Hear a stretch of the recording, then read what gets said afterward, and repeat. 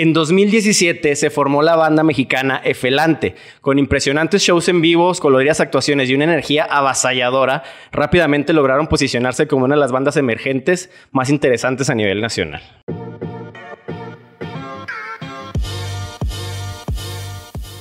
Bienvenidos a Dunau Podcast, Un punto de reunión para personas con curiosidad infinita. en búsqueda de nuevas respuestas a las preguntas de todos los días. Para conocer ese 1% de todas las cosas que no sabemos. Formar criterios disruptivos que nos permitan cambiar al mundo. Escuchar diferentes puntos de vista y reconfigurar nuestras opiniones. Yo no soy Andrés Ayub. Y yo no soy Oscar de Santiago.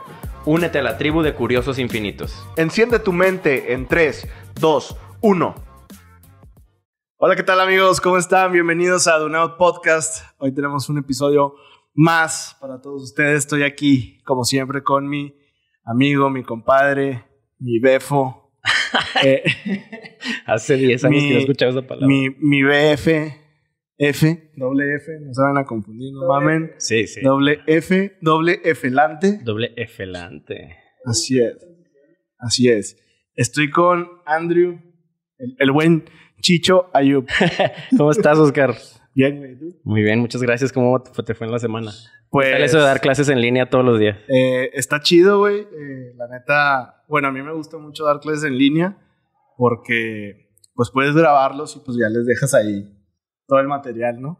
Y Ya ya, quedas como para la posteridad. Claro, Igual y si tienes que volver a dar la misma clase, pues ya, solo mandas el link. se las repones. Y Ahí. ya. Bueno, el día de hoy tenemos nuestro invitado. Es un multiinstrumentista, toca el bajo, el piano, la guitarra, canta, hace de todo. En marzo del 2018, su banda lanzó su primer sencillo doble, con lo que se pusieron en el mapa rápidamente las propuestas más frescas del país. Sus siguientes sencillos se- los siguieron posicionando en el gusto de la gente y el 17 de febrero de este año lanzaron su, reciente, su más reciente sencillo llamado Mango, que puta, llegó a las 10.000 reproducciones en chinga. Para este año y a finales esperan sacar su primer disco, su primer álbum llamado Acuarelas, donde van a incorporar ahí un arte visual, o sea, pretenden que el concepto sea muy audiovisual, que el, el video acompaña a la música, está muy chingón, Muy gráfico. muy gráfico. Entonces el día de hoy nos acompaña el señor Pablo Elizondo. Es un joven. Eh, Pablo, ¿cómo gracias estás? Por esa introducción Muy estudiada, muy estudiada. Muy estudiada. Nada más quiero comentar que eso es muy verídico lo de guardar las clases. Yo, yo como estudiante de que ese- eso es lo mejor que me pueden hacer, de que, que tenga la clase ya grabada. Oye. ¿te gustan las clases en línea o preferirías regresar a las presenciales? No, no, no, no, definitivamente prefiero clases presenciales. Yo sí, sí considero inclusive no meterme este semestre el que sigue para evitarme todas las clases eh, en línea, no sé, no me gusta. Pero eso sí está, eso sí está muy chido, de que para estudiar sí me estoy regresando a las clases. Y, y, por ejemplo, este, ahí tú, eh, con lo de las clases en línea, antes de que pasara todo esto, eras de que, o sea, era muy típico que odiaran la escuela, como que ir a la escuela o tú siempre has amado ir a la escuela. Porque fue, Eh, antes era como que odio ir a la escuela y luego ahora es odio las clases presenciales, preferiría ir, perdón, las clases online, preferiría ir a presencial. Pues es que yo creo que desde que entré a carrera, pues y yo creo que a, a todo mundo, si te entras a la carrera que te gusta, como que te, te cambia ese chip de que Sí. a mí me caga ir a clases de ciencias, ¿sabes? Ya no tengo clases de ciencias porque pues estudio finanzas, entonces no tiene nada que ver y pues está chido ir a puras clases que están, o sea, que me gustan.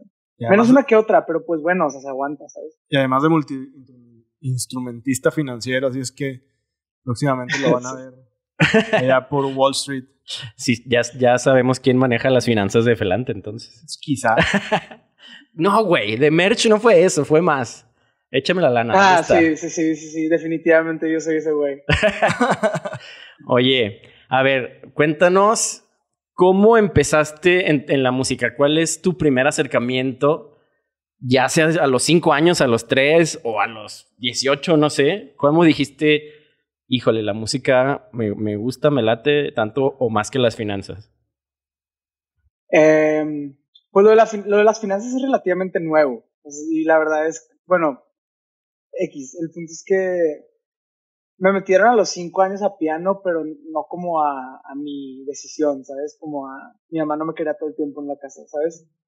Este, y yo creo que mi amor como a la música, al rock, llegó cuando me compraron mi Wii con el Guitar Hero 3, que creo que para mi generación fue como un, o sea, la muchos de los músicos de mi generación fueron eh, creados o, o, nacieron a base de, del Guitar Hero. Sí, sí lo he, sí lo he visto como muy, o sea, muy repetido en, en, la, en la escena local y así internacional.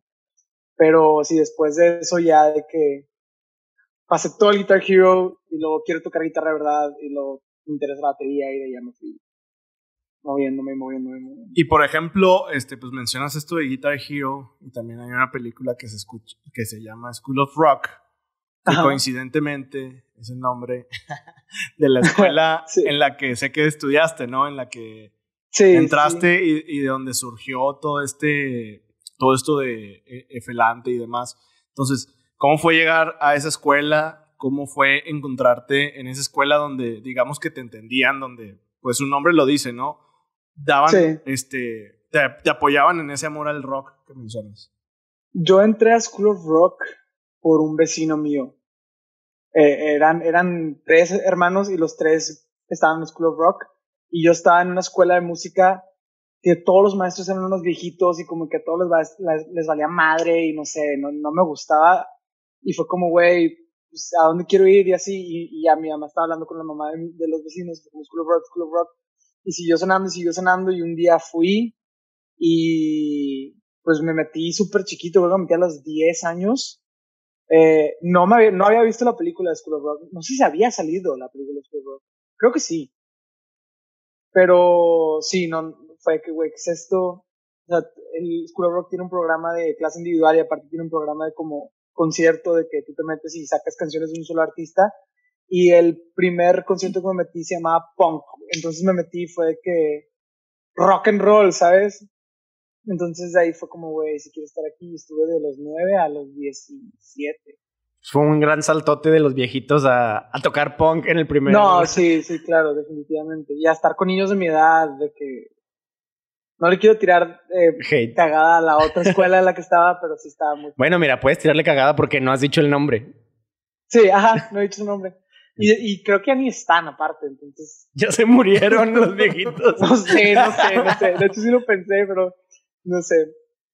Ojalá que no. Ya no sé si estoy están ahí elaborando.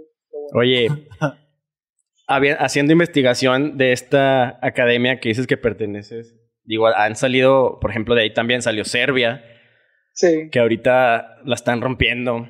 Este, no varias gente, Luisa Vox. Sí, claro. Este digo, un gran semillero de, de, y prueba de que están haciendo algo bien, porque no son como artistas que se quedan en el garage. Al, final de cuentas, todos están teniendo su éxito, algunos más, algunos menos, algunos a, menos escala que otros, pero al final de cuentas, todos son conocidos ahorita, por lo menos a nivel nacional.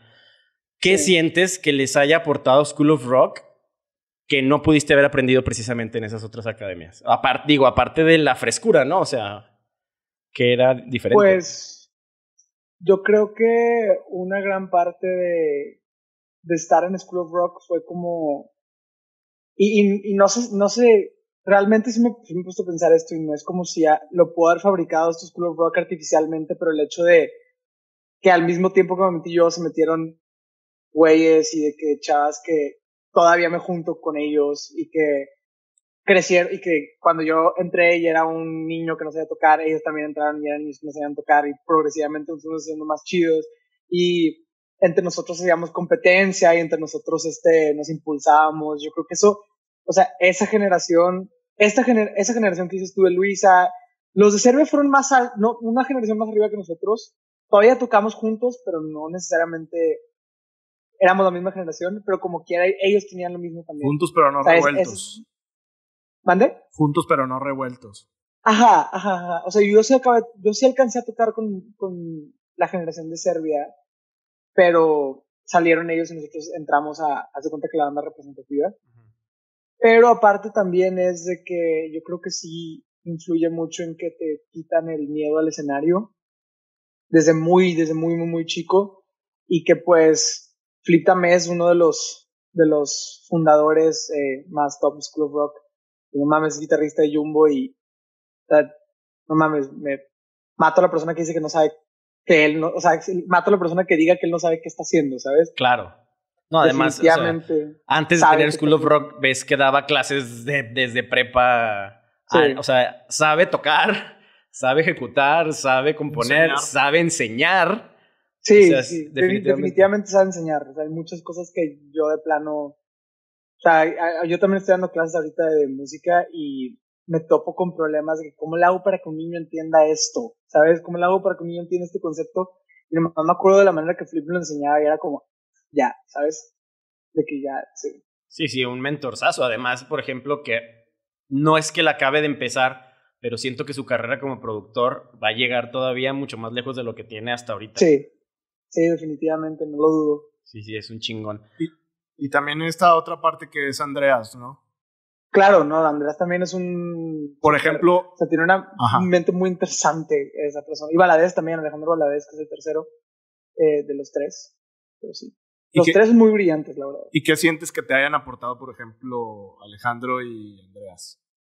Pues a los principios de Felante nosotros eh, estábamos con ellos y siento que pues al, mismo tiempo que estábamos empezando Felante, estábamos como en el proceso de salida de School Rock. Y ahorita que lo pienso, no se siente como un salto tan grande de, de, empezar, tu, de empezar tu propia banda, salir de School Rock y empezar tu propia banda. Pero en el momento sí se sentía como, como mucho miedo de que salir a hacer tu propia música y ya no nada más cuenta el hecho de tocar chido, porque o sea, cuando nosotros eh, estábamos saliendo de estar en School of Rock, teníamos una banda de como seis o siete personas, que es la banda representativa de School of Rock, se llama House Band.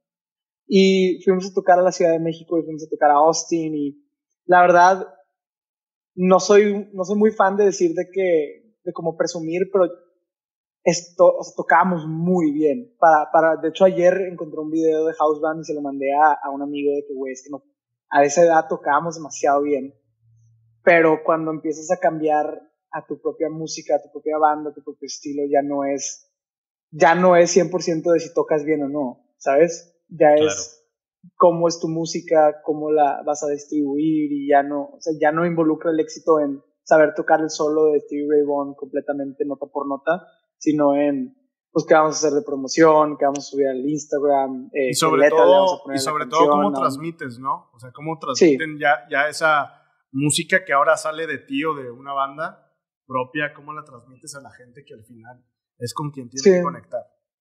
Sí, al final de cuentas es como si yo me subo al escenario y toco una canción de Red Hot Chili Peppers y se baja y me bajo del escenario y alguien me dice no me gusta la canción, a mí me vale madre si te gusta la canción o no, porque no es mía, pero si me bajo yo del escenario tocando canciones de Felante y alguien me dice no me gusta, pues ya es un poco más duro, ¿no? Oye, luego he visto, hablando de lo mismo, que en tus redes sociales pones que estás tocando así random en el Major Tom.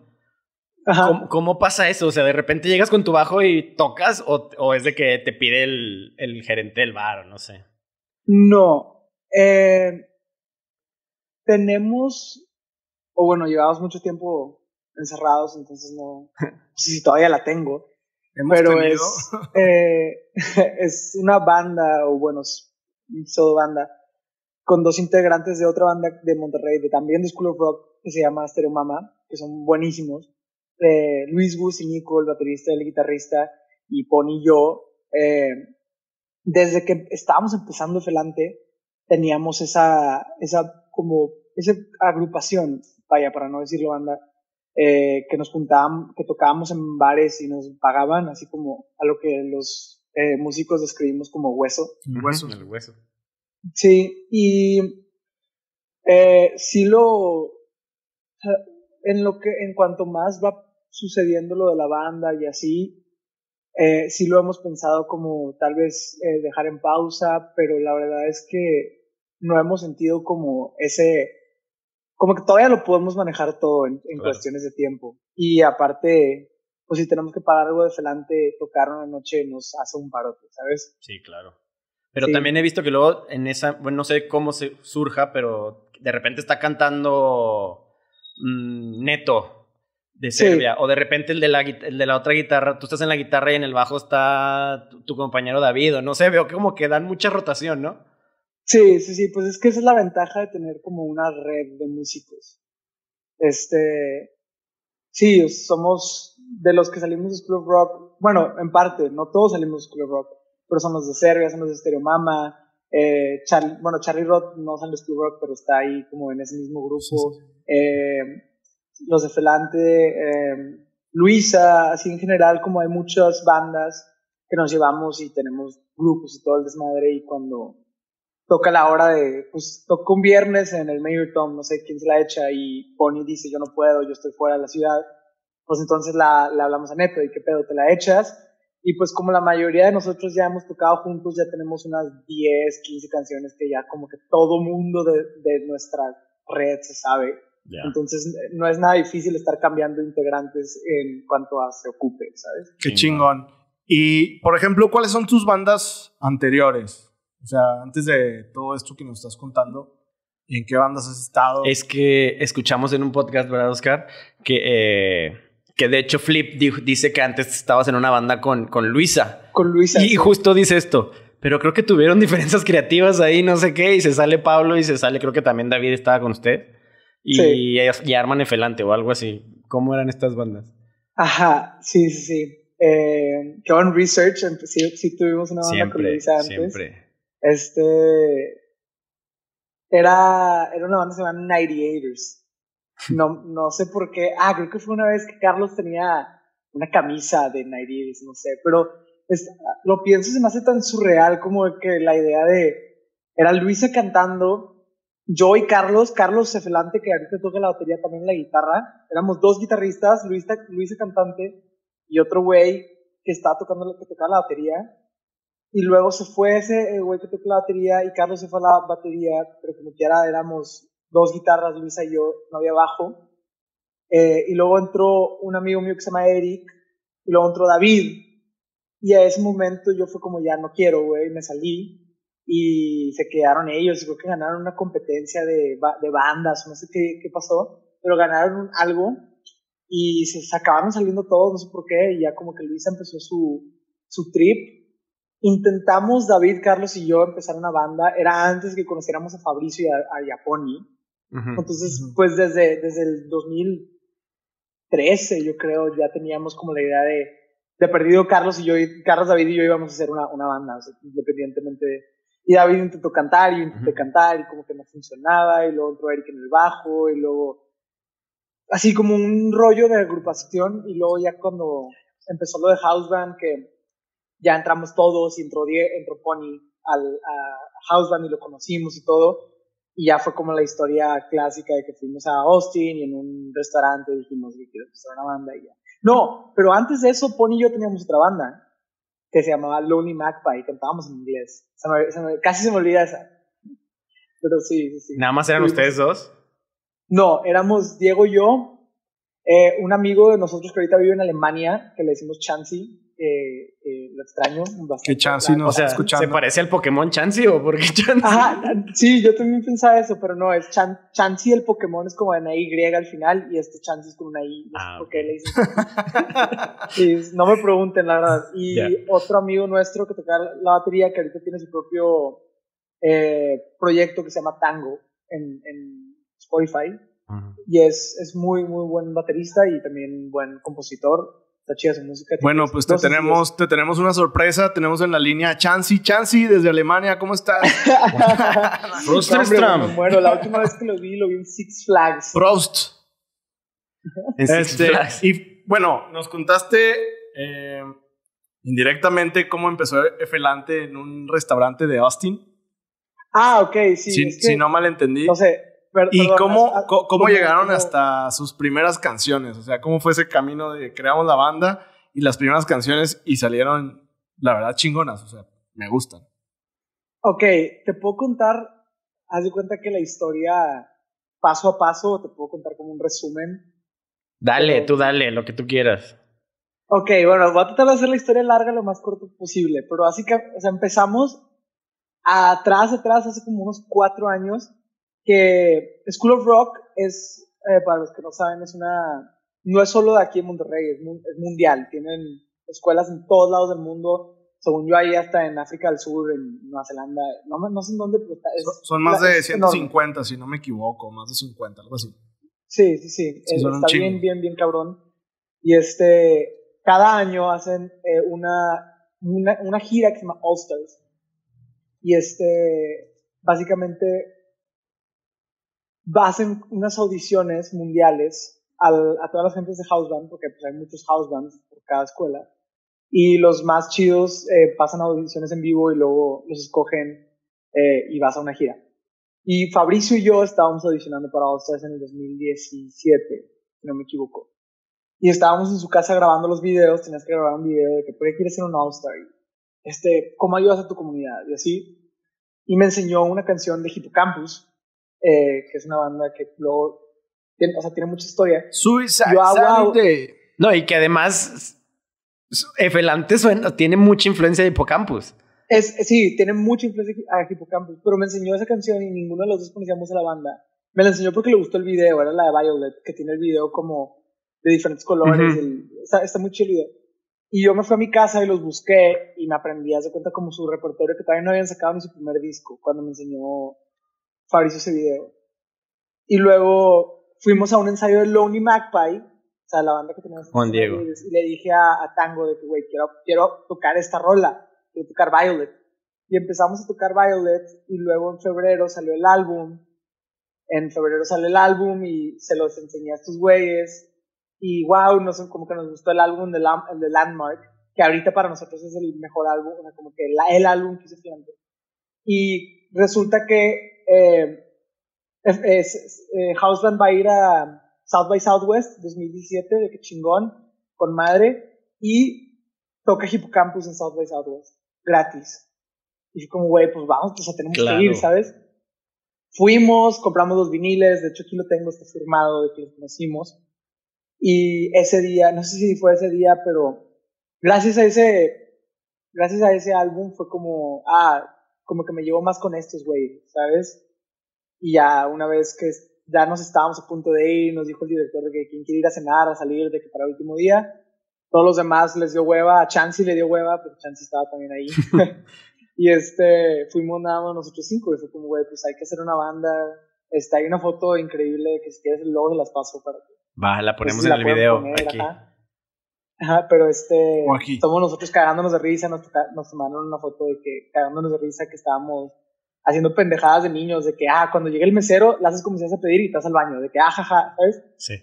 Pendejadas y ya llegamos y llegamos aquí y el Lonely Magpie X, o sea, como que se empezó a deshacer y nos pidieron que tocáramos en una fiesta, eh, el papá de David nos pidió que tocáramos en una fiesta y fuimos, tocamos puros covers, nos gustó y a la hora de hacer nuestra primera canción hicimos eh, Hippocampus 2, literal, de que de hecho, la primera canción que compusimos fue Vainilla y muy, era muy, muy, muy diferente a, la, a como es ahorita. O sea, era literal, agarras Hippocampus y lo haces mexa y lo pones.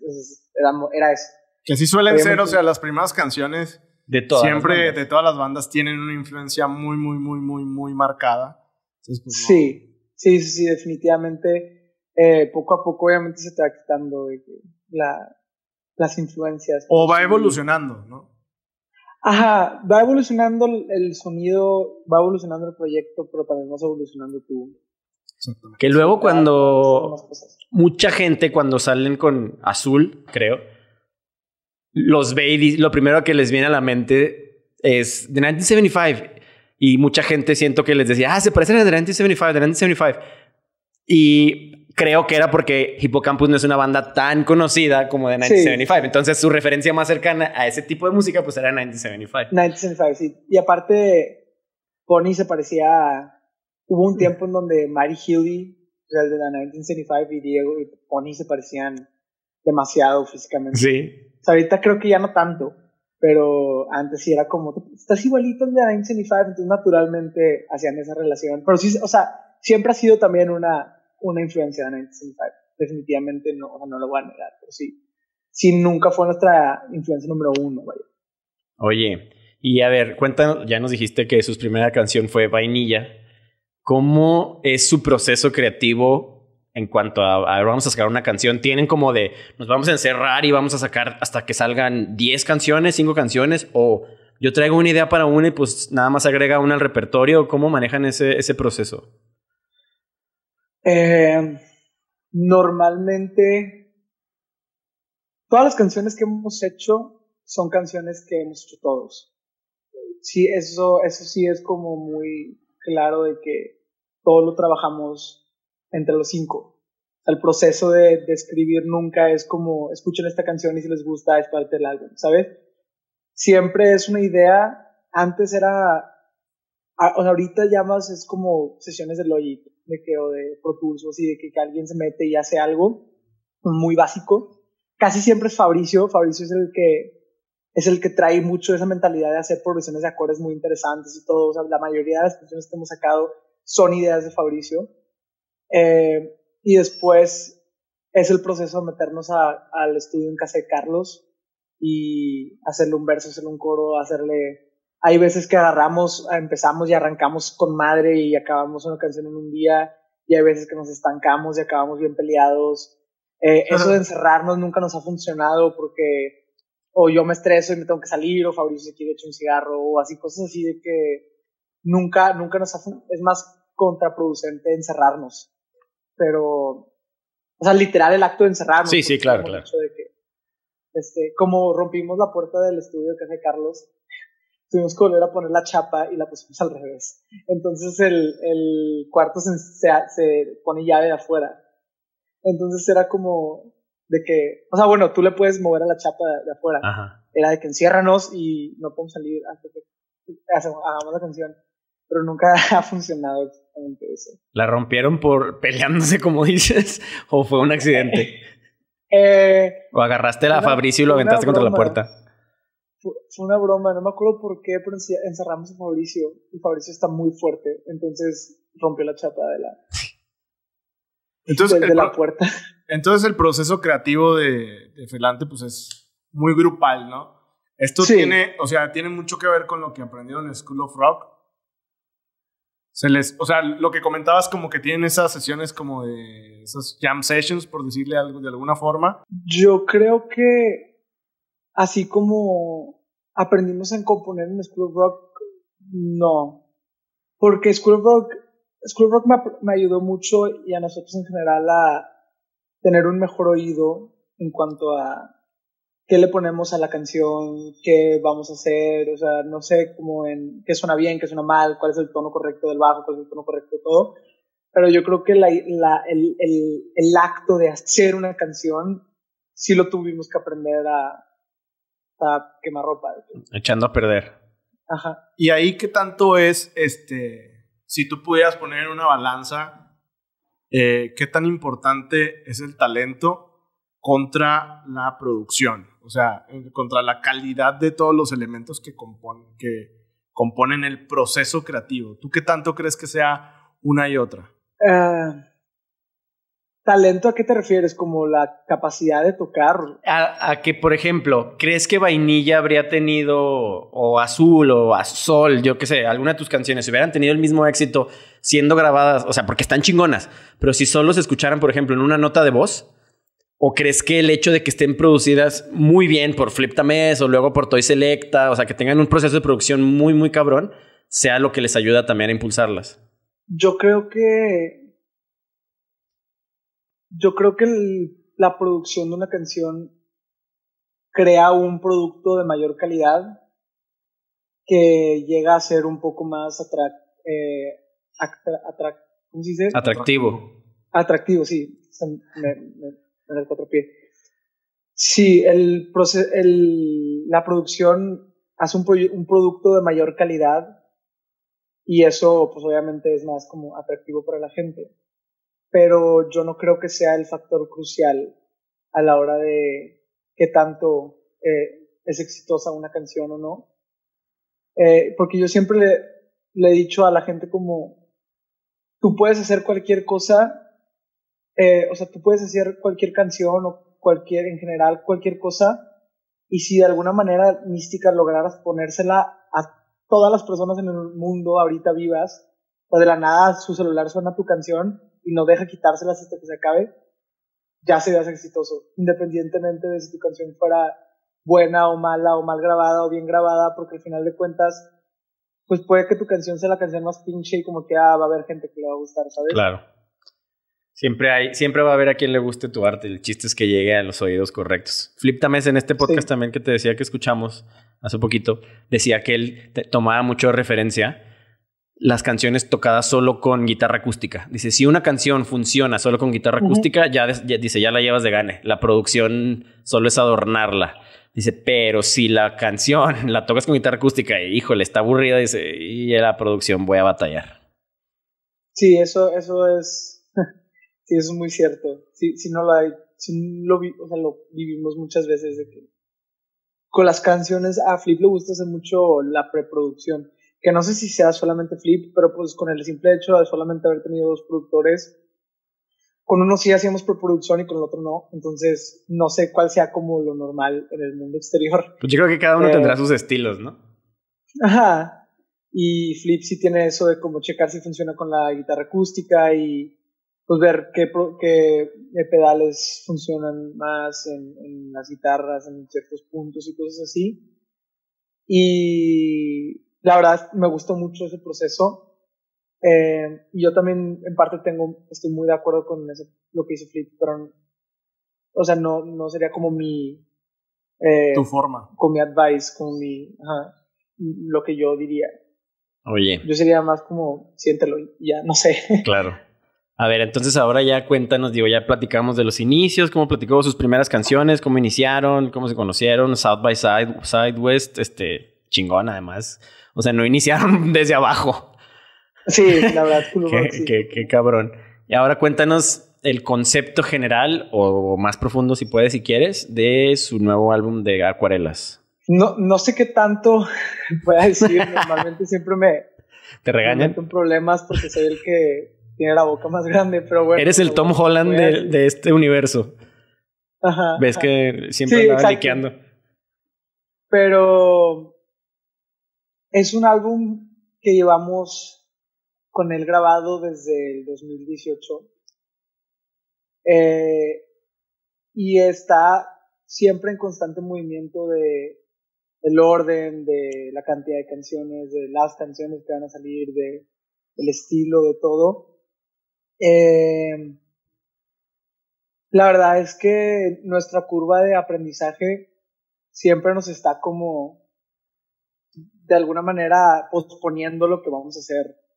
Entonces sale, sale como la idea de hacer esto, ¿sabes qué? Vamos a hacer esto por el final de este año y luego a la mitad del año es como, güey, tal vez, tal vez no es lo más chido, ¿sabes? Tal vez no es lo que queremos hacer o vamos a sacar esta canción y luego componemos otra que nos gusta más y es como, bueno, está bien, ¿sabes? No, tal vez no es esa la que queremos sacar.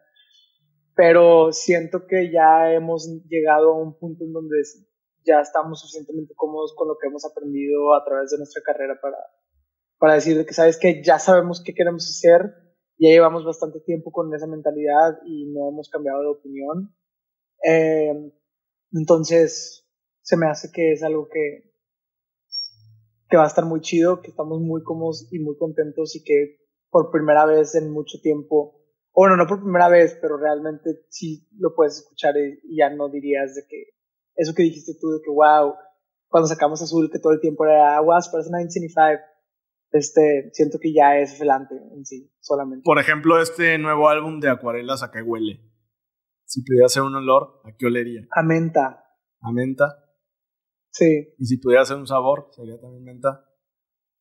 Sería los chocolates que tienen menta.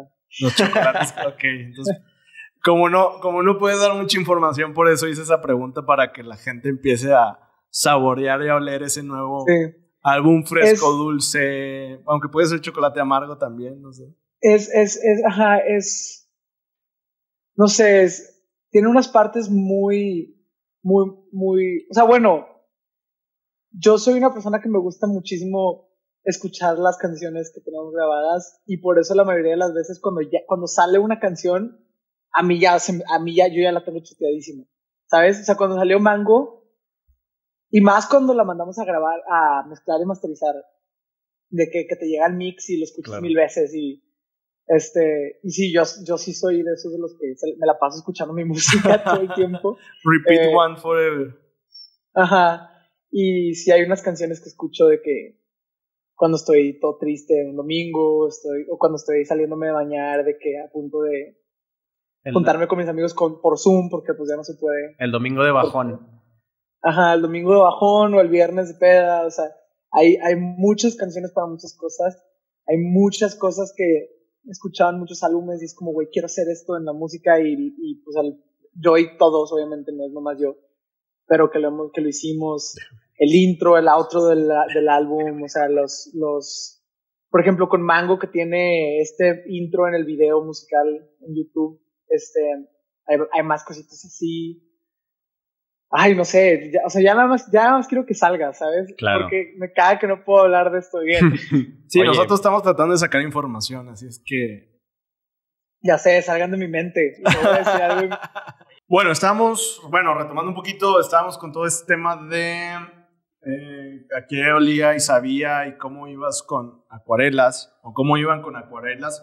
Entonces, yo quisiera saber cómo es que ha sido esa evolución musical de pasar de vainilla a mango, que son canciones eh, súper frescas, que todas huelen como a coco, a playita, bailable, que huele a buena onda, buena vibra. ¿Cómo ha sido esa, esa evolución hasta llegar, te digo así, de vainilla, mango, acuarelas? Eh, yo en lo personal, yo, yo no he sentido que eh, como hecho un cambio como que yo, que yo quise hacer. Sabes que voy a cambiar mi manera de pensar. De, no, la verdad es que todo ha sido muy este, natural. Eh, sí, sí, sí creo que hicimos un cambio muy, muy cabrón en, pues, en quiénes somos, en qué escuchamos, en cómo comunicamos eh, la música y en general todo. Eh, pero no, no sabría decirte como, ah, sí, es que cambiamos, eh, empezamos a escuchar más hip hop o en general, fue como, pues empezar a, ver cómo funciona el mundo, empezar a ver cómo funciona la música en general, hacernos más como, hacer producciones más inteligentes y hacer eh, letras más significantes para nosotros, que pues fue en parte el tiempo, la experiencia y, y pues el mundo que, que va cambiando, ¿sabes? Oye, todas estas canciones que mucha gente no conocerá como papel, o creo que tienen una que se llama Luna, ¿van a venir en acuarelas? Eh, hay unas que sí, hay muchas que hemos tocado en vivo que sí van a ir en el álbum. Eh, hay otras que tal vez no, pero sí van a, o sea, sí es, todas las canciones que tenemos al, al momento ahorita sí tienen una fecha de lanzamiento. Ya. Chingón. O sea, no, no necesariamente van a salir en el álbum, pero van a salir en, en de alguna otra manera. Oye, hace el año pasado, Oscar y yo estábamos platicando aquí una cosa, no me acuerdo qué, vimos que venía Clubs a Torreón. Eh, personalmente, a los dos nos, nos gusta mucho Clubs. Oye, güey, vamos. Sí. Llegamos y la chingada y toca esta banda que se llama Efelante que tenía a todos vuelto locos, que la, realmente nosotros nos, o sea, fue como, wow, qué chido, o sea, qué chido esto, que lo acabamos de ver. Y... Y de hecho también íbamos a apoyar a la banda de un compa. Sí, que tocó antes de ustedes, ajá. Habitante. Que se llama Habitante, que es una banda local. Este, íbamos a verlo y a ver a clubs y llega Efelante y como nosotros no los conocíamos y fue una impresión muy, muy grata. ¿Cómo este, todos estos shows, bueno, primero antes que nos cuentes eso, ¿cómo se vive un, antes, o sea, el día de, un show de Felante, cómo se vive desde, o sea, hasta cinco segundos antes de subirte al escenario? Ese día en específico em, fue caótico porque nos, nos robaron el Airbnb. ¿Cómo? Sí, fuimos a hacer soundcheck y alguien se metió al Airbnb y se llevaron un chorro de cosas. Este, creo que no lo habíamos mencionado antes. Te digo que igual y me meto en pedos por haber dicho eso, pero sí, esa vez sí fue como, güey, qué pedo. Eh, y llegamos muertos de miedo, obviamente, porque cuando llegamos al Airbnb pensamos que todavía había gente adentro. Claro. Eh, porque se, alguien escuchó algún ruido o algo y nos salimos y le hablamos a la policía y tuvieron que venir al Airbnb. Tuvimos que llevar todas nuestras cosas a otro hotel y todo. Llegamos a tocar y yo estaba bien nervioso, o sea, yo como con el shock. Claro. Y ya, o sea, ya como que fue como, bueno, ya pasó, ya todos estamos bien. Afortunadamente creo que nada más llevaron un Nintendo Switch y una computadora. Pensé que se habían llevado mi computadora, pero luego la encontraron en Airbnb. Este, y sí fue como, bueno, ya pasó, todos estamos bien. Teníamos los instrumentos con nosotros cuando fuimos a, hacer soundcheck, entonces eh, no se llevaron nada de eso. Y pues hay que romperla. Y, y, ese, ese día en específico sí fue como uno de los shows más chidos que más he disfrutado, vaya, porque pude sacar como todas esas emociones a... Sí se notó un chingo. O sea, neta, se notó un chingo. Sí se notaba que traían algo... Digo, nunca pensé que un asalto, pero sí. se notaba como que traían algo que querían expresar, la neta, porque la, o sea, la energía que estaban transmitiendo y esa, esas vibras que te digo, ese olor a coco, playita bailable y demás, se notó un chingo, o sea, dieron, se vio que dieron un chingo de ustedes, ahora entiendo por qué.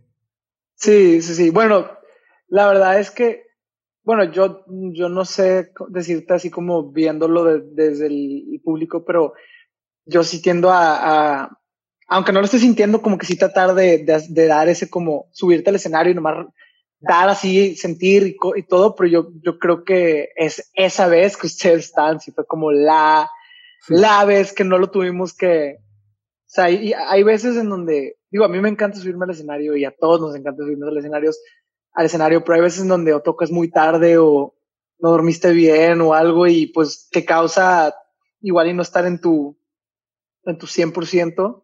Y, y si es como hay veces que tienes que, como tú solito darte cuerda de que sabes que igual no te sientes bien, pero, o sea, tienes que darlo y ese proceso a que te sientes mal, a como llegar a ya estar disfrutándolo plenamente 100% de que, es, es, sí se nota, pero es, esa vez que estuvieron, eh, que estuvimos en Torreón, sí fue como desde el principio puro top. Yo tengo muy presente que estabas pateando el bajo, creo que ya al final. O que de hecho, ahorita ese, ese bajo está muy, muy desfasado, eh, muy, o sea, lo tengo que mandar a arreglar porque ya, ya sufrió suficiente. Lo tira, o sea, me acuerdo que estaba el, el escena tirado en el bajo, tirado en el escenario y tú pateándolo al final. Sí, hacía eso, eso, hacía eso mucho con el bajo, pero ahorita ya está muy jodido, se me hace que ya no lo voy a hacer. ya, ya dio lo que tenía que dar el pobre bajo. Sí, ya. Pero a ver, eso fue de un día en específico.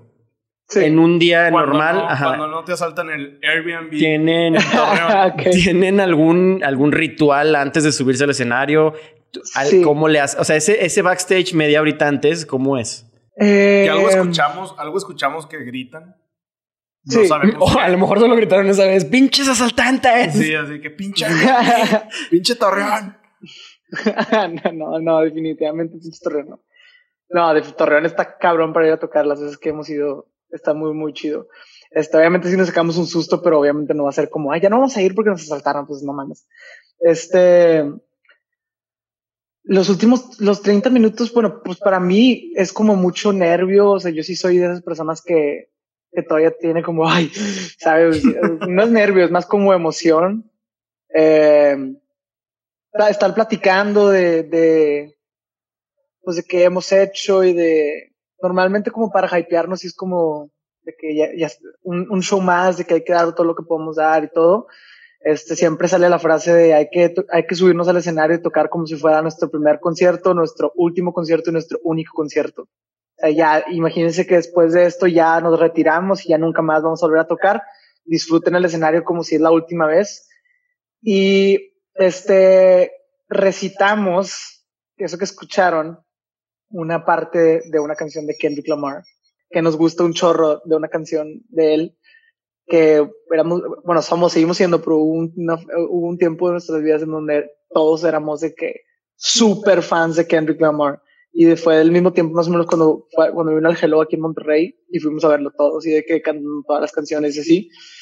Entonces sí, no sé por qué salió esa canción, eh, pero sí, sí, sí, eso es lo que recitamos, no. Y ya arriba del escenario, tienen algún, todo es pura energía, porque digo, bueno, ya nos dijiste que real, particularmente en este estaban como muy energéticos, pero es todo pura energía o si tienen como situaciones coordinadas que digas, a ver, en esta parte de la canción Diego va a saltar, entonces yo me tengo que mover para atrás y me tengo que hacer en un lado o, cosas así.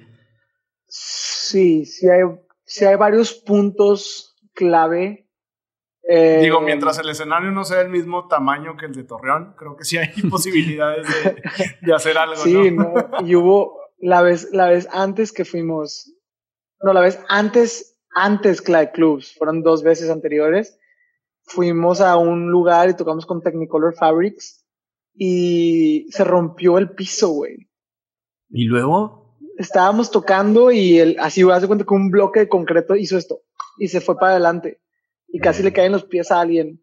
Y fue que a la madre, ¿qué, qué, qué pasó? Y ya se cuenta que tuvimos que seguir tocando y nos hicimos todos como para un lado del escenario y dimos como medio show, todos de que en un lado del escenario mientras arreglaban en el piso.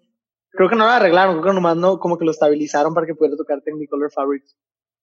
Pero eh, sí tenemos unos sí tenemos algunas partes clave del, del, del show. Que no sé si va a ser el mismo show. o sea, una vez que salgamos de todo esto, porque pues también nos ha estado ayudando a como pensar en qué queremos hacer y así. Pero sí es como... Hay algunas cosas que no son como planeadas, como por ejemplo en el breakdown de Fior es como, güey, todos nos volvemos locos y ya es como una tradición, o sea, nunca fue como, vamos a volvernos locos en esta parte de Fior, o sea, como que nada más nos prendemos todos y ya fue como, hey, está chido que nos prendamos todos al mismo tiempo, pues hay que, hay que nada más no hacer eso, ¿sabes? Pero sí, por ejemplo, hay, hay una parte en, en el show donde Diego da un discurso de que, sobre algo que nos gusta eh, presentar ante nuestra audiencia, de que, sobre perseguir tus sueños, cosas así, y ahí sí es como, güey, está bien de que tenemos que estar en este loop eh, mucho tiempo. Dije loop y, lo, dije la P muy fuerte, no sé por qué. Pero este, también la otra es de que al final de Luna hay una parte en donde nos quedamos, todos tenemos que dar como en un motif, en, donde Diego se sube en una barda o, hacen varias otras cosas y luego ya cuando se regresa ya todos contamos de que un, dos, tres, cuatro y ya empezamos y ya le seguimos la canción, ¿sabes? Pero sí hay, sí hay muchas partes que se ven muy coordinadas, pero porque a través de los años hemos eh, nos hemos dado cuenta de que, ah, qué poco que todos hacemos esto al mismo tiempo, de que hay que nomás seguir haciéndolo, ¿sabes? Pues es que son un chingo de años, ¿no? O sea, lo, que nos contabas, este, pues todo ese caminar que traen, de, o sea, prácticamente se conocen de siempre, ¿no? Sí. Entonces, es, está chingón, la neta, eh, que todo eso se vaya dando y la verdad es que se nota algo en el escenario muy orgánico que sí transmite para, para la gente, para el público. Eh, entrando ya un poco más en el tema personal, ya dejando de lado las bandas, escuelas, los momentos fuera de, de ti. Eh, hablando más sobre Pablo, eh, ¿por qué haces lo que haces hoy? Em, porque estoy encerrado. Pero. Este, sí, sí, sí, sí te entiendo. Porque no me puedo imaginar siendo feliz haciendo otra cosa.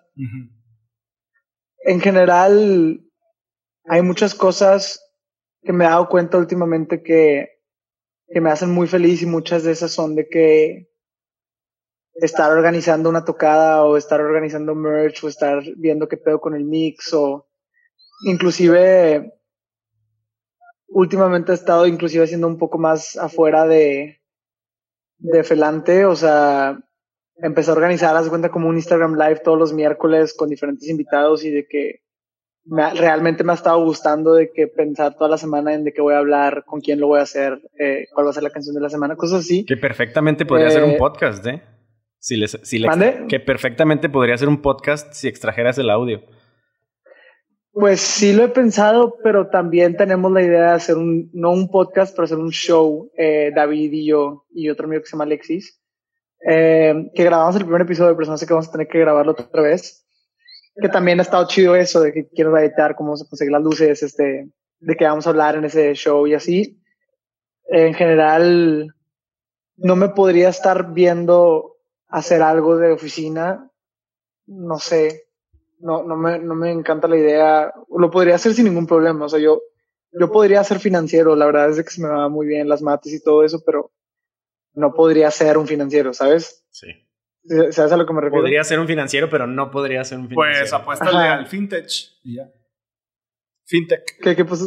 Ah, Ah, sí, apuéstale sí. al fintech y, y ya está, puedes ser financiero donde tú Sí, quieras. ya, ya puedo hacer lo que quiera. Así es, antes de tocar, pues ahí te pones a, a liberar A- a- créditos y a conseguir la bolsa. financiamientos y a meter tus inversiones y vámonos Oye, a tocar. Sí, sí, sí. Ya nos explicaste que en School of Rock algo que les ayuda mucho es a superar el miedo al escenario muy, Sí. desde muy chiquitos. Pero tú en tu vida, ¿cómo manejas el hecho del miedo? ¿Cómo lo superas? Y no nada más el escenario, o sea, ¿cómo superas el hecho de este, por ejemplo, a ver, a lo mejor antes te daba miedo iniciar los lives cada miércoles. O dar una clase. O dar una, ándale, dar una clase, empezar a dar, impartir. ¿Cómo superas tú tus miedos conforme los, se te van presentando? Yo creo que sí, sí en parte es como familiarizarte a algo con, que es extraño para ti. Y yo creo que cualquier persona como que tiene algo así, ¿no? Sí, sí, De que, no sé, o sea, te da miedo subirte al escenario porque no sabes qué va a pasar cuando lo hagas, ¿sabes? Sí. Y, y ya te subes al escenario y ya te das cuenta de que no, no hay ningún problema, nadie te va a decir nada y luego se te quita el, el miedo, ¿sabes? O sí, es como el miedo a, a que te pongan una inyección, güey, pues si te ponen una inyección cada dos años, pues te va a dar miedo cada vez que te la vayas a hacer, pero si te ponen una cada semana, pues es la cosa más X del mundo, ¿sabes? Hay que enfrentarlo, ¿no? Hay que enfrentarlo y Sí, en repetidas ocasiones hasta que prácticamente pierdas el miedo, pero nunca pierdes el nervio. sí, y yo, y yo sí creo que siempre he sido una persona que se la juega muy a, a lo seguro, ¿sabes? O sea, de que si tengo que rifármela o, o quedarme en, en el safe zone, prefiero yo quedarme en lo seguro. Y eso yo creo que mis, que mis bandmates eh, me han ayudado a, a, a quitármelo. O sea, en general, Pony, David, son personas que son muy aventadas, güey, así cara primero a lo que salga, ¿sabes? Y también eso, digo, tiene sus riesgos, ¿sabes? Sí, como todo tiene sus pros y sus contras. Claro, claro, claro. Pero pues yo creo que ustedes también pasaron eso a la hora de hacer esto, ¿no? De que Sí, a los la verdad. primeros episodios. Fíjate que, güey, quién sabe, ¿eh? esta, esta sí fue así como de... Yo veía mucho creativo del podcast de Roberto Martínez Ajá. y, y Oscar veía a Joe Rogan, por ejemplo, y veía muchos podcasts en inglés. Y fue un día de que, güey, ¿qué es un podcast? Porque aparte, como que nuestro grupito siempre somos los que más platicamos. Sí. Y, güey, ¿qué es un podcast? Y, y al contrario de que nos diera miedo, este fue más bien de, a ver, sí, güey, chingue su madre, a ver, ¿qué se necesita esto? Pídelo la chingada, lo hicimos. Y más bien el miedo nos dio cuando nos pusimos a grabar y vimos que no sabíamos qué pedo. Fue así como, Sí. ay, güey. Miedo nos dio ya Sí. cuando estás enfrente de la interfaz de audio Y de las Que- cámaras. y que hay como siete botones que no sabes ni qué pedo con cada uno de esos siete botones. Entonces te tienes que meter a YouTube, ahí es donde empieza el miedo. Pero realmente nos aventamos y pues ya cuando estábamos aquí, pues aquí seguimos, güey. Sí, sí, sí. ya fue así como que madres, pues. Que de hecho hay, un, hay una estadística que dice, ya está haciéndolo bien personal, ¿verdad? Que dice que la mayor, el noventa y tantos por ciento de los podcasts solo se queda en siete episodios.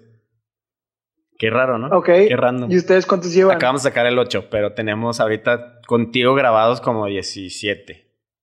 No, ok, chido, chido. Ajá. Ok, ok. Nos falta. No, pues entonces ya pasaron, ya pasaron Sí, de ya. los siete. ¿Cuántos, faltan- cuántos tiene Joe? Como 1400. Sí, Entonces, Joe nos Rogan faltan acaba de sacar su 1383, 1440 Nos faltan 1383 para que esto valga 100 millones de dólares. 100 millones de dólares. Pues Tony Hawk fue el último más nuevo.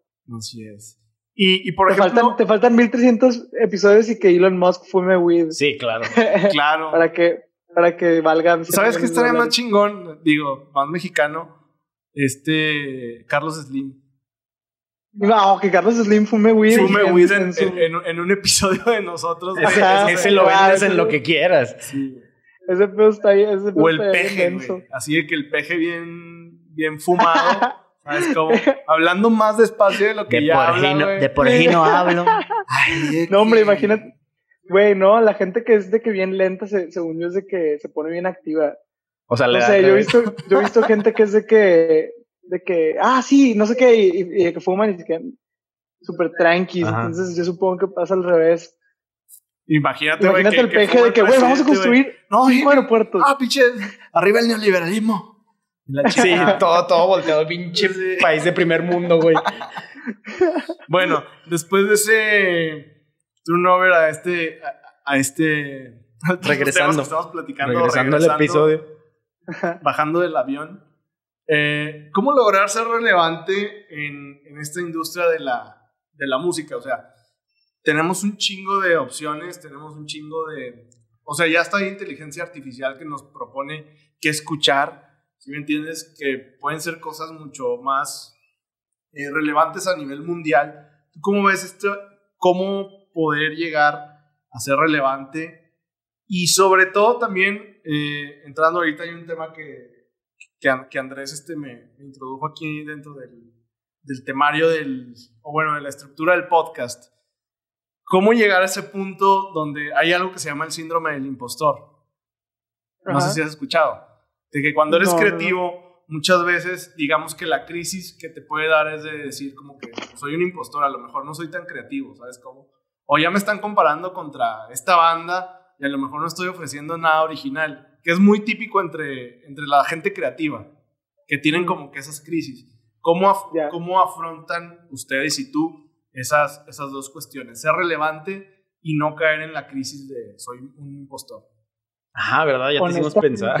Sí, la, la, primera de la relevancia, em, si alguien te logra contestar esa pregunta, por favor, me manda su respuesta.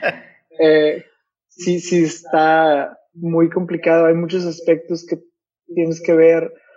O sea, en sí está demasiado fácil y demasiado difícil hacerte relevante hoy en día.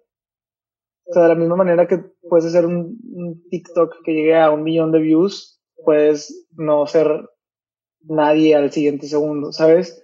Es demasiado elástica o versátil la, la relevancia hoy en día. Y yo creo que lo más importante o del mínimo de lo que yo te podría decir ahorita, igual y mañana cambio de opinión, pero de lo que yo te podría decir ahorita es que, eh, pues la, la historia de la tortuga y la liebre, o sea, si te vas lento pero seguro, es más fácil a que si trates de llegar de 0 a 100 en un momento, porque de la misma manera que puedes subir tan rápido, puedes bajar igual de rápido. Y en cambio, a construir una fanbase estable, construir eh, pues un, sí, construir una base y en esa base poderte posicionar. Eh, mínimo ahorita yo en, lo de lo que yo he vivido se me hace como lo más inteligente. Paso seguro. No sé, no sé. Sí, sí, sí, ese es tu, tu concepto de, de, de, cómo se, de la relevancia. Y en esto ahorita, comentaba... a mayo del 2020. ya poniéndole fechas a, las opiniones para que luego no te las saquen de contexto. No, pues qué huevo, güey. O sea, puedes cambiar un año o un mes o un día, tener una opinión y después cambiarla en base a una experiencia que has tenido. O sea, de, eso creo que va todo, ¿no? Hacia, hacia allá va todo este pedo. Y, y lo, de la, lo del síndrome de la imitación, yo creo que es muy contraproducente digo, ponerte a, hacerle caso a eso, de cierta manera. Eh, pues yo también a veces pienso que no, no puedes hacer contenido original hoy en día. O sea, no puedes hacer algo que sea 100% original, que nadie haya escuchado y que no se parezca a nada. ¿Sabes? Claro. Este, ha habido demasiado gente, hay, hay demasiada gente viva ahorita mismo y ha habido demasiada gente viva a través de los años como para que hagas algo 100% original. Y cualquier cosa que hagas se puede comparar con algo más. Entonces, no sé si realmente vale la pena ponerte a pensar de que, de que, ah, no sé, al hacer una canción, de hecho eso es algo que yo hacía mucho, que componíamos alguna, alguna melodía o alguna producción de acordes y yo era el, yo era el primero, o a veces inclusive soy el primero que dice, se parece demasiado a esta banda, o se, se parece demasiado a esta canción. Eh, y eso también, también se lo tengo que dar a mis bandmates que me han ayudado a decirme, güey, de que cálmate, espérate, ¿sabes? Y hacemos la canción y yo convencido de que es que esta producción se parece un chingo a esta canción de no sé quién. Y luego Diego le pone una melodía y es como, ah, bueno, ya no. Ya, ya ¿sabes? Totalmente, claro. Pero luego la sacamos y alguien va a decir, esa melodía se parece demasiado a eso, que ni siquiera lo tenía en mente. ¿Sabes? Este, yo creo que yo creo que cualquier cosa que hagas se puede malinterpretar, se puede pensar que, que es, eres un copión o lo que sea.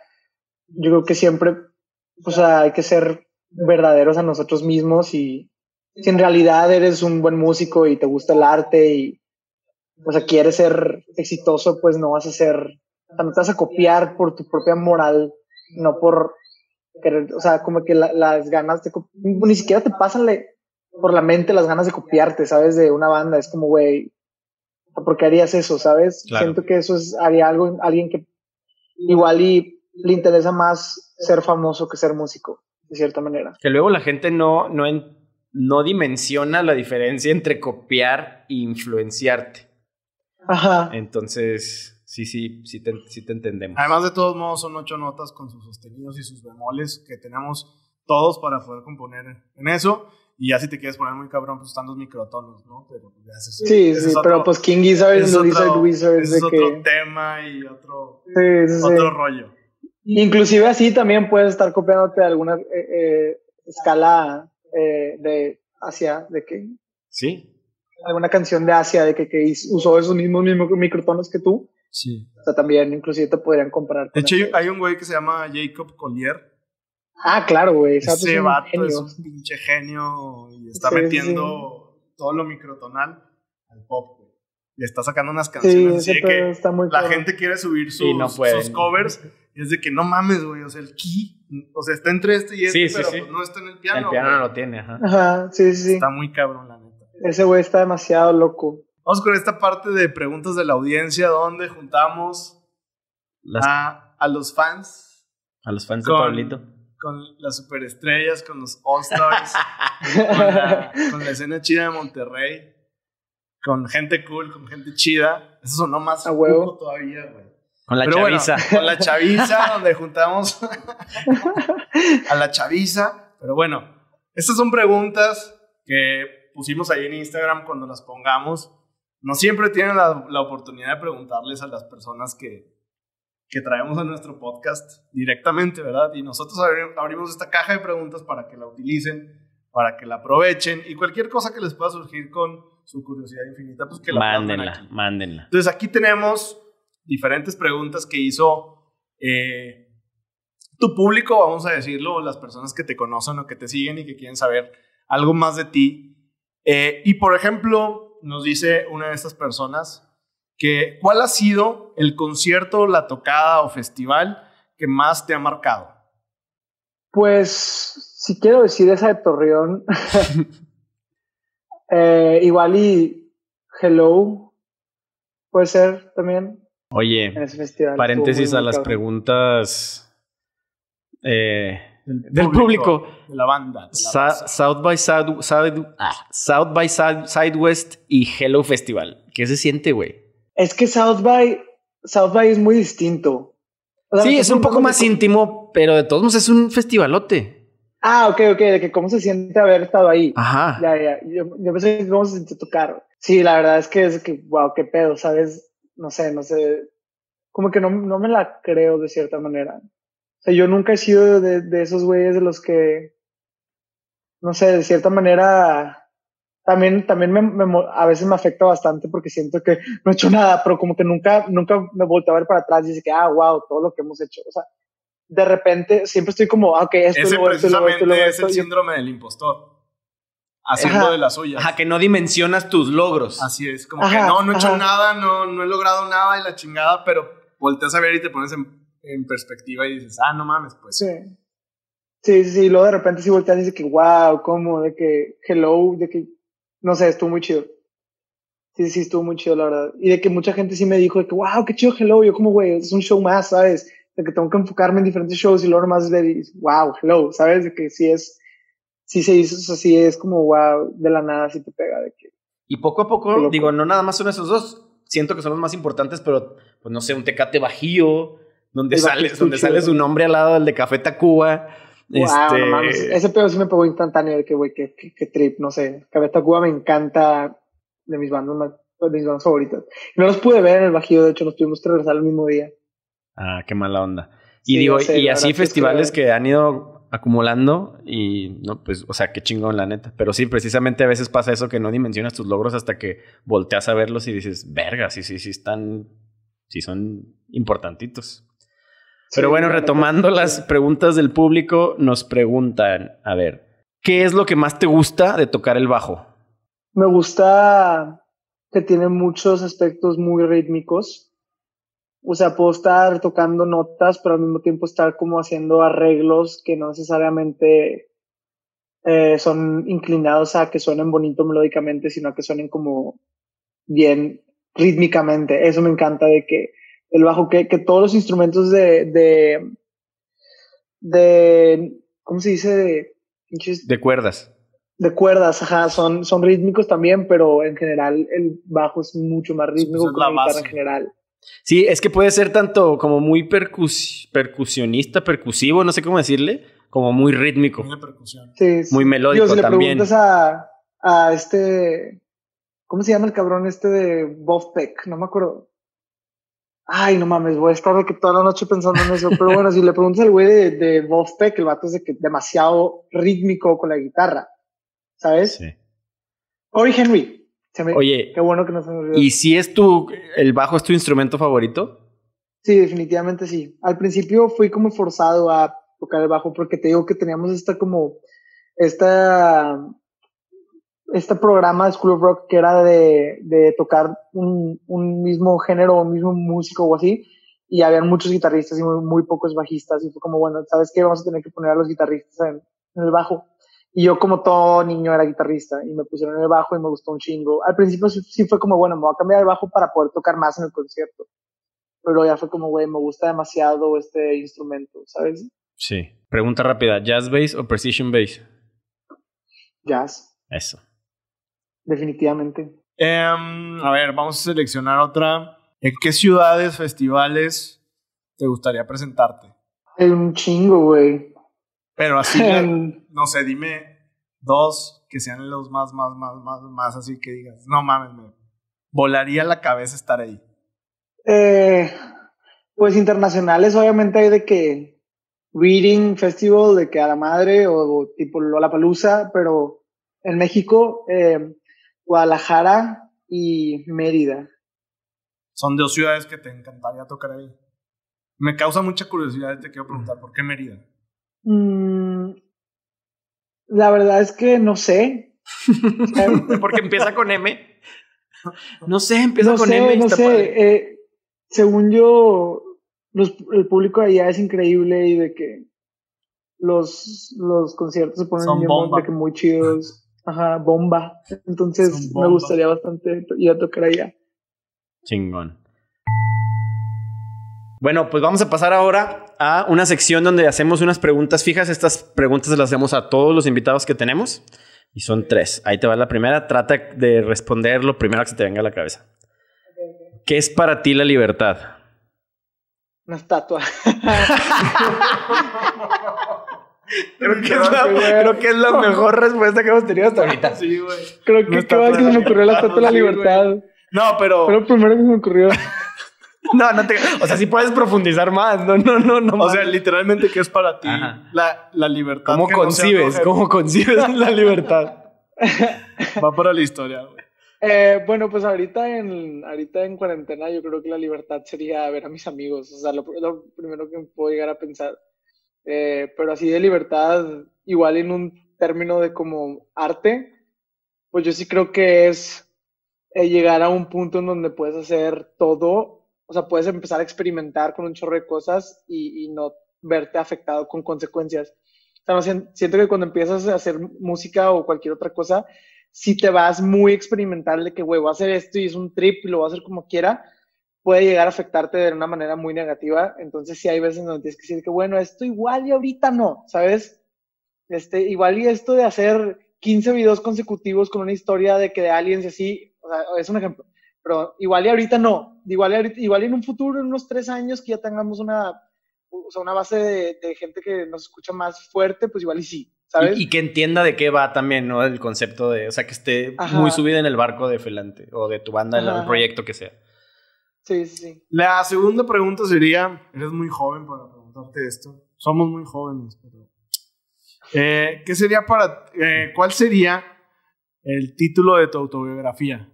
Ay, güey, la vez pasada lo pensé. Digo, era una pendejada, pero sí pensé que estaría Mejor. chido. Pero bueno, era de que, no sé, yo probablemente sí lo pondría como de que sacas el meme del perro, del, del perro caricatura que está sentado de que en medio de un cuarto que se está quemando y nomás dice de que this is fine, de que todo está bien, Ajá. sacas Sí. igual y ese sería yo. Igual y ese sería, Esa sería mi- la el portada de- y el título sería This is Fine. Deja- de que esto está todo, de que todo está bien, nada está pasando, de que todo, todo- vamos bien, está bien. No sé, yo soy una persona como que lo piensa demasiado las cosas y así de que. Entonces, igual y sí sería como es mi, mi, mi biografía, el Y, título. y por último, ¿qué te gustaría aprender que no has tenido tiempo y por qué? A, a grabar cine, a grabar videos musicales, aprender sobre cámaras, sobre, sobre tomas, sobre panoramas, sobre en general todo eso de que fotografía y, y video. Me encantaría y, y no he tenido eh, el tiempo, no he podido porque existe un changuito en mi cabeza que es el changuito procrastinador que cada vez que me quiero poner a hacer eso es de que sí, puedes hacer eso o puedes ver de que una temporada de How I Met Your Mother de, senta- de jalón y es como, bueno, ok, Ok. How I Met Your Mother, ¿sabes? Luego, Germán Neudert da talleres, dio uno hace poquito en Monterrey. Estaría chingón. Sí, sí, la verdad, sí, sí me gustaría un chingo aprender a, a hacer eso. Va, entonces, ya por último, Nuestra última sección. nuestra última sección. Tenemos como Ok. 900 secciones, güey. Qué pedo. Pero bueno, Está chido, está chido. este, haz de cuenta que tenemos nueve preguntas random, Ajá. pero no tan random, sí las pensamos bastante. Es como una especie de tómbola, entonces las tenemos numeradas del 1 al 9. Tú nos vas Y a decir un número. Tú nos vas a decir tres números, o sea, uno por uno, del 1 al Ok. 9. Nos vas a decir tres números y a ver qué pregunta sale sorteada. Ok, ok. ¿Va? Entonces, ¿cuál sería tu primer número? Siete. El número 7 dice, ¿qué cosas no toleras? Eh, los diminutivos me cagan. Que digan, no Pablito. sé, taquitos Ah. o de que carnita, no sé, ay, güey, no sé, me caga, me caga, no sé por qué me molesta bastante. Eh, y también me caga, otra cosa que me molesta mucho es que, no sé, imagínate que yo esté cotorreando con ustedes y te diga de que, güey, no mames, de que no pude dormir ayer y dormí de que tres horas. Y que tú me digas, ah, yo dormí una. Como que, güey, no es una competencia, ¿no? Me que los siempre uno más que tú. Ajá, ajá, de que, güey, no mames, no sé, ayer me tomé, de que me pasé de lanza, me tomé seis cheves, de que, ay, yo me tomé nueve. De que, güey, no es una competencia, de que tu, tu, vida, tu estilo de vida eh, más, digo, menos saludable no, es, no te hace ver más cool, ¿sabes? Claro. No eres más cool por ser peor. Ajá, eso sí, esas son esas cosas. Segundo número. A ver, voltearme a ver a los ojos. Ay, sí, güey, vas a ver el reflejo. Estoy viendo, estoy viendo tus lentes, sus lentes, más bien. El tres. Si pudieras detener el tiempo en cierta edad, ¿cuál sería y por qué? Si pudiera detener un tiempo a cierta edad, definitivamente no, lo, no creo que lo usaría de que Todavía. ahorita lo que he vivido no creo que lo usaría de que yo, yo creo que sí me esperaría que fuera Best como, is just yet to come. ajá, pijama, Sí. claro, sí. Este, sí, yo creo que igual y sería como a unos 23, 24, no sé. Y luego cuando llegas a los 24 vas a pensar en 27 y cuando llegues a 27 vas Ajá, a pensar ajá, en igual y sí, 32. o igual y nomás Ajá. cuando tenga de que 60 años y usted de que Ahora sí ya. Así, ya, güey. Ahora sí, ya, sí, ya, ahora sí. Ok. De que vos justo cuando te vas a morir y tienes de que un chingo de tiempo más para hacer lo que quieras. Claro. La manera que de cuando me voy a morir a tal edad, ok, un día antes de eso detener el tiempo. Sí. Ajá. Y luego de, de- de que en tiempo, en tiempo congelado a- a- aprendo cómo hacerme para vivir por siempre. Claro. Y Pablo, Pablo se queda por siempre. O al menos hacer videos. Ajá, ajá, de huevos. ¿Y cuál sería Eh. tu tercer número?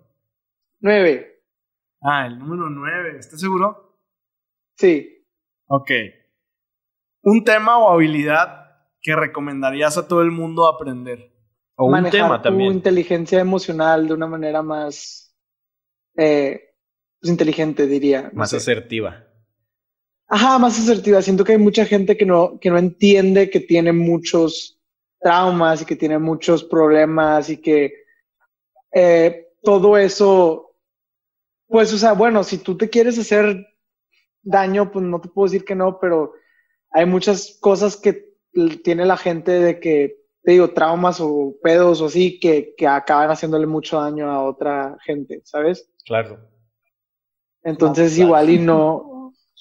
Ajá, igual y como, no sé, últimamente sí me he tratado de meter mucho a eso de que he platicado con muchos psicólogos por, por puro interés y es como, güey, Por pura hay veces en donde, ajá, hay, hay veces en donde alguien me saca algún tema que puede llegar a ser alguna inseguridad mía y es como me, me empiezo a enojar y estoy a punto de explotar. Es como, güey, espérate, de que estás enojando por esto, esto y esto y vas a hacerle daño a esta persona si te enojas y dices una pendejada. Entonces, de que cálmate un chingo y nomás como, no sé, sabes de que respira y no sé, de manera más asertiva puedes decir, sabes qué, güey, no me gusta que estés diciendo esto de que me, me está provocando que me enoje, podrías de que en vez de explotar y causar tal vez daños más cabrones. Chingón. De hecho, eso es una. Es algo que la neta sí, todas las personas. Deberíamos de aprender. Más que aprender a entender, ¿no? Porque pues, las Sí, emociones, ponerles nombre y saber, así como tú dices, o sea, saber detenerte y decir, stop, Sí. estoy a punto de, si sigue este pedo la voy a cagar y va a ser peor. Sí, y más en, más en los hombres, güey, que Sí, somos súper Pues yo creo que, que muchos, muchos no tenemos esa habilidad de decir, estoy triste, ¿sabes? Es- me siento enojado, me, me hirió lo que me dijiste, ¿sabes? O sea, como que, no sé, la mayoría de nosotros somos educados a, a si te enojas, güey, agárrate putazos, o de que si estás triste, chingas y de que escóndelo y eres un, de que no seas, no seas, no seas nena, haz de cuenta, que está súper mal, ¿sabes? Claro. Hacerlo, nosotros siempre platicamos de eso, hacer consciente tus emociones y, de- y, y entender de dónde viene, por qué me estoy enojando. Ah, pues porque yo Sí. sé de dónde viene, ok, ahí es donde te detienes y como tú dices, todo sale mejor y no, no hieres a otras personas y todo se puede Sí. comunicar de una mejor manera. Y una vez que ya lo Sí, sí. entendiste, pues respiras y luego ya te agarras a putazos si quieres. De manera sí, bien sí, consciente. Si tienes grande, digo, si, si te quieres agarrar putas de- manera consciente, pues dale. Pues bueno, muchísimas gracias Pablo por tu tiempo, por compartir con nosotros eh, pues lo que llevas hasta ahora vivido personalmente y musicalmente. La verdad es que ha estado chingón escucharte, platicar contigo, tenerte aquí en el podcast. que Eh, después sea presencial, ya quedamos, con Cheves ah, claro, sí. y con el cafecito cuando se que llevaron. Cuando, se Cuando Don pueda. COVID se vaya. Cuando, Cuando- regresen a Torreón y esperemos no los asalten. Torreón. si, no- si tú nos estás escuchando, alguien de Torreón. Y no, asaltaste no. un Airbnb. Ya no lo hagas, güey, ya no lo hagas, por favor. Y un Nintendo Switch, si no mal recuerdo. Gasa tu madre. Pues Sí, muchas sí. gracias a todos por acompañarnos. Acuérdense de suscribirse, a los que nos ven en YouTube, activar la campanita, a los que nos están escuchando por Spotify o Apple Podcasts o Stitcher o Google Podcast, este, suscríbanse también para que les llegue notificación. Sigan cada a vez Pablo. que llegamos a una... que Uh. subamos un episodio. Sigan a Pablo. Pablo, ¿cuál es tu Instagram? Eh, Pablo Elizondo L y el, el Instagram de Felante es eflante.mx. Sigan a Efelante, escuchen Efelante, disfrútenlo, bailenlo, gócenlo. Ya parece chachachá. Huelan, hu- huelan huelan. Huelan, huelan a coquito, a playa. Que, a ah, onda. una cosa que nos dijimos de Pablo, tiene un hijo. Lo pueden, Ah, escuchar- lo pueden seguir en Instagram, creo que es Pabliputense, ¿cómo? Pabliputense, sí. Ahí en su bio viene. ¿Cuántos años tiene tu hijo ya? Eh, ¿Hace cuánto nació? to- todavía no lo he decidido. no, no sé, como, no sé, no sé. La verdad no lo he pensado. Oiga, no se crean, ¿eh? es una cuenta de un Güey, yo Pablito me chiquito. quedé así como de que madres, güey. No, es un, hace cuenta que es un Pablo No, bueno. con las puras piernas y el torso de este tamaño. Ah, Ok. Sí. Pero sí es verdad, o sea, sí es una persona de verdad. Sí, Ok. sí, sí. Como Pinocho. Ajá. Sí. Bueno, Pinocho. pues muchísimas gracias. Háganle caso a todo lo que dijo aquí mi buen, Suscríbanse, acuérdense, mi suscríbanse. buen Andrés Ayub. Sigan todas las redes de Tunao, a todas las redes de Felante, de Pablo, de todos sus proyectos. Síganlo porque estamos seguros de que esto va para, para, grande, va para largo. Tanto ellos como Gracias, nosotros. gracias. Siempre hay que estar con la Correcto. actividad proactiva. Y pues los esperamos en el próximo episodio aquí con nosotros. Que estén muy bien. Chao. Hasta luego, Pablo, gracias.